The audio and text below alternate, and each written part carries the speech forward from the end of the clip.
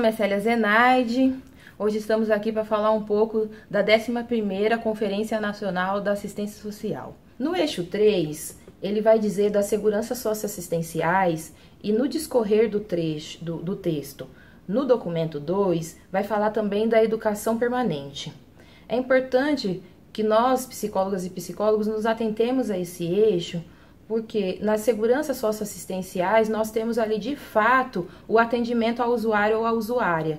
E isso é, diz do, desse momento político que nós estamos vivendo, dessa PEC, onde congela-se os, os, os, recursos e a gente sabe que vai impactar diretamente na política, e quando impacta diretamente na política, vai impactar diretamente nos usuários.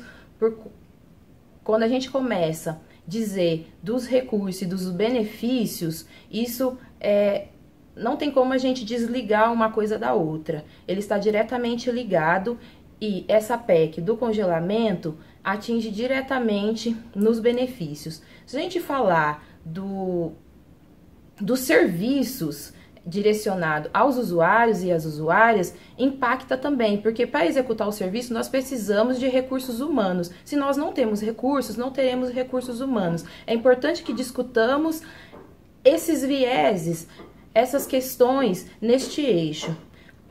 Quanto à educação permanente, é importante que nos atentamos, pois em muitos estados nós não temos ainda o núcleo é, estabelecido. Se tem no estado, muitas vezes essa educação, esse, esse, a capacitação ainda não chegou para os municípios e sem capacitação, sem educação permanente, sem um, uma atualização é, sobre as demandas que nós temos no dia a dia, no cotidiano, se torna quase impossível, eu diria até impossível, que nós consigamos de fato trabalhar e executar a política e de fato entregar um serviço de qualidade para os nossos usuários e usuárias. É importante também que nós psicólogos possamos gravar vídeos né, dizendo como foi a conferência no seu município, como está sendo a construção da conferência estadual, como nós trabalhadores estamos participando desse processo, como a psicologia pode contribuir com o processo de conferência. Use a hashtag Psicologia no SUAS